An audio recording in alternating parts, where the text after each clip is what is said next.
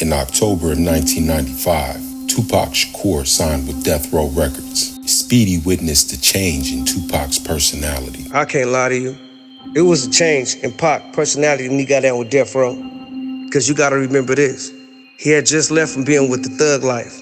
You know, them all Crips. Rated R from 40s, Big Syke from IVC, and Macadoshis. But I believe he out the 40s.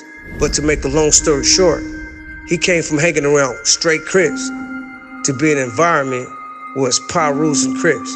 He was a loyalist, so he was loyal to whoever he was with. And that was the cause of his demise, just being loyal. Pac poked his chest out. Pac was outspoken. Pac wasn't a mark. I don't know what motherfuckers think. If he was with you, he was with you. Tupac gave nicknames to both Speedy and Kurupt. My name is Gotti Gotti. It was Young Gotti Gotti. Kurupt name was Young Gotti. Kurupt got his name from Tupac.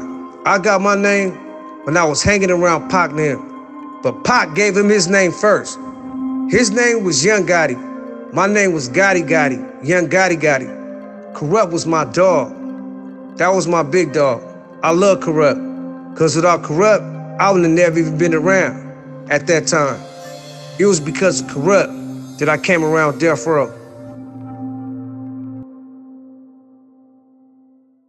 Speedy also formed a friendship with Hussein Fatal. Fatal was my nigga. Fatal was a live wire. He was cool as a motherfucker. He used to get drunk and wild out. I remember Fatal and my brother Young Magic was in the car together. They had a white bitch in the passenger seat. That nigga was drunk and he was driving real fast and he tried to make the car hook slide into the into a parking space. And he hit a pole and Pac Lexus Land Cruiser. And he crashed it and shook the whole motherfucking building.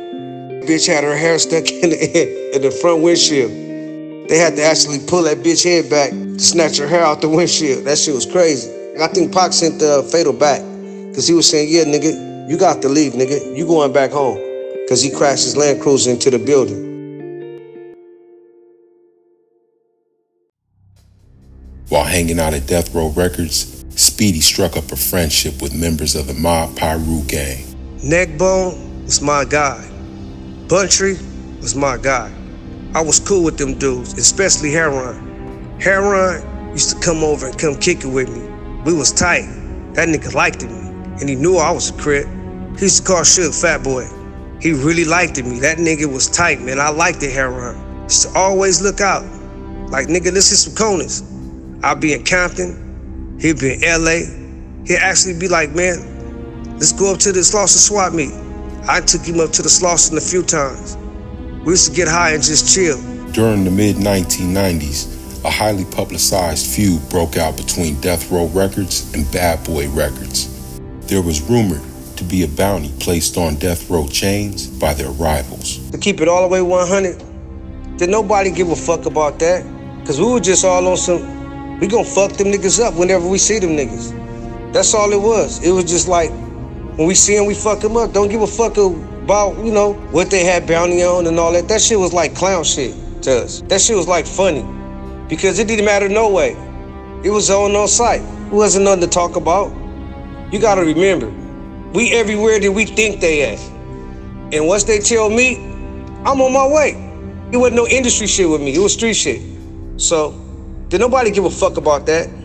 To answer the question, nah. I never heard that at the time. It wasn't no conversation that Pac had with me about it. It was just always gonna be like, we just gonna spank them niggas. That's it, that's all.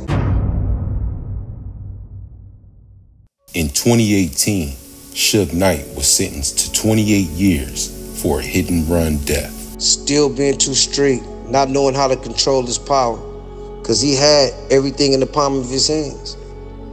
He was just too involved in the streets. He got consumed by the street life, by the power that he had. And then when he went to prison, and when he came back home, things had changed. But nobody really fucking with him the way they was fucking with him. He had the power that he had. And so he really went back to the streets instead of going back to the office. He should have went back to the office instead of going back to the streets. And he was trying to, you know, relive what he left. I love Suge. I can't lie. He was always a good man to me. He was a good man to a lot of people. It's a lot of people with that's on today, doing music today, that's taking care of their families today because of that man. He just didn't know when to say fuck the streets. Fuck being a bad guy. He didn't know how to put the bad guy away. Watch the full BMF Speedy documentary, only on Info Minds.